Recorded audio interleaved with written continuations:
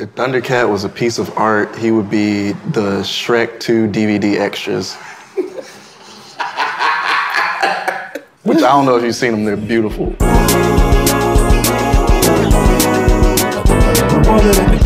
met at Freaknik in 1994. I was wearing a full, like, aluminum foil bodysuit in 90 degree Atlanta weather. And he was uh, he was twerking at a gas station. I pulled over. Twerking for what? He was twerking the gospel music, and I said, "What's up?" He's gonna draw me like struggling. Draw Aries Spears getting beat up. That's what I identify as. I'm gonna start dressing like I voted for Trump. I think. Just real crazy and like neoconservative. When I pull up to places, I want people to think this nigga definitely got an AK-47 in his khaki shorts. We should just be careful. Do you think that Future is actually like a, a cyborg by the pharmaceutical company? Sent from the future. the future Sent from the actual future. He's actually like selling actual medicine. he actually is. Somebody made a meme. His future actually. And it was like Future drops an album, and it was just like a, a bunch of CEOs, like yes, like, like all high fiving each other. Oh god. I wish you could get uh, vanity social security numbers like license plates. just change it to a long ass cuss word, like just fuck with like six U's. You ever try to use a Snickers wrap for a condom? It's the same effect. I think. I fucked up yesterday and wiped my ass with a brown paper towel and couldn't see nothing. so I didn't know when to stop. Man. How long have you been thinking about killing yourself? You know, I should start a timer every time I get suicidal and then add up the hours later on and then deduct it from my taxes because it's a part of my brand. I think we should take all seatbelts out of cars. And just, and just let, let nature take its course. Do you think we should just release a bunch of hyenas into the White House?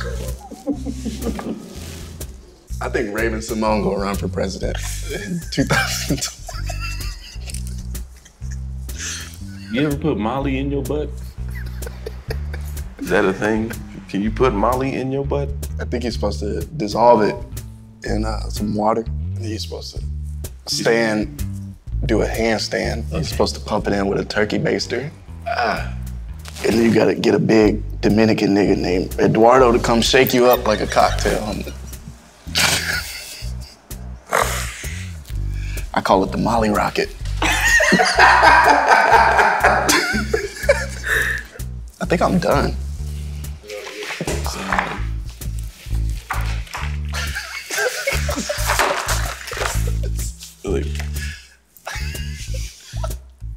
This is Zack. Is this a Rorschach test? When I think of Zack, I think of Senior Bug Nuts. He has bug nuts, and then he has no face. He's just a vast emptiness. That's a titty. It's definitely a titty.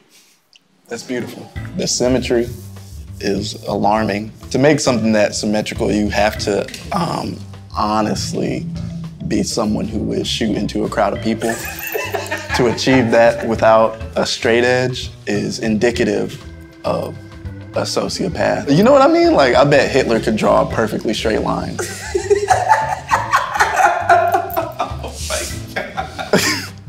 That's not normal. This nigga Hitler was in art class drawing perfect circles the first time. You ready? Ah. this is heavy.